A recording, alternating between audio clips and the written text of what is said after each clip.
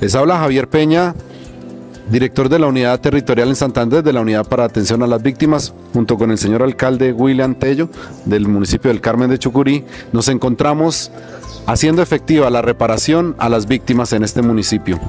Es el único municipio del departamento de Santander que ha sido beneficiario con esquemas especiales de acompañamiento familiar, en la cual damos unidades productivas a población vulnerable para mejorar sus condiciones de vida.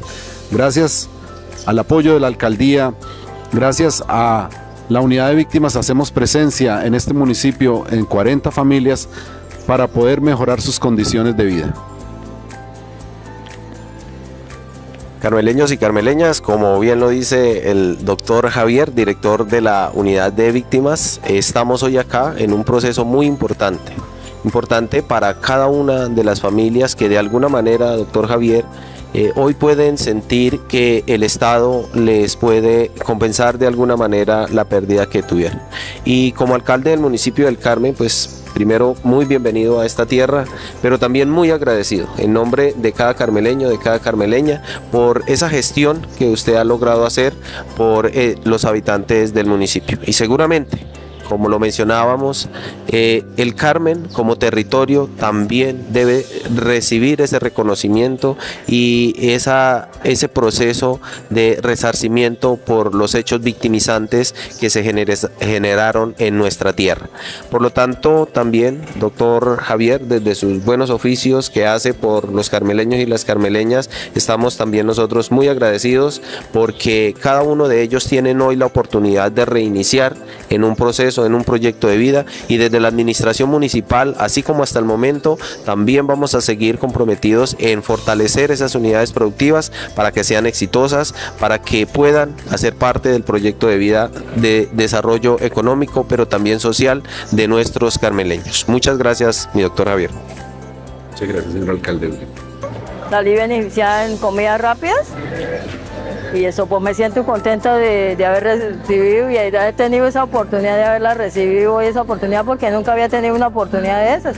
Y pues igualmente pues mi pensado es trabajar con mis hijos para poder salir adelante. En cierta forma pues nos beneficia en, muchas cosas porque pues la verdad yo nunca había tenido acceso a una tienda, ¿sí?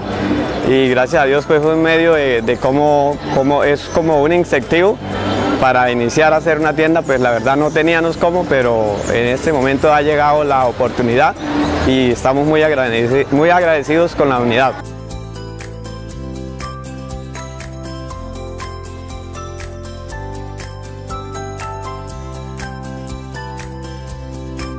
Bueno, estas entregas, primero que todo, darle gracias a Dios y darle gracias al doctor Peña, coordinador territorial de Santander, desde la Unidad Víctimas del Conflicto Armado. Agradecemos por nuestra entrega, por este beneficio tan importante, porque es una historia en el Carmen de Chucurí que se presente esto tan importante y tan emotivo para nosotras las víctimas del conflicto armado que hemos sido golpeadas por varios hechos victimizantes. También agradecerle pues a las diferentes entidades como la administración municipal que tuvo a bien venir a acompañarnos en este proceso.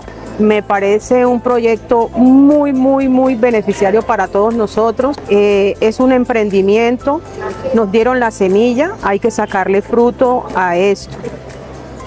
Eh, de una vez voy a, pasar la, la, publicidad para en algún futuro tener mi negocio aquí en el Carmen de Chucurí pueda venir a disfrutar de los helados que se van a elaborar.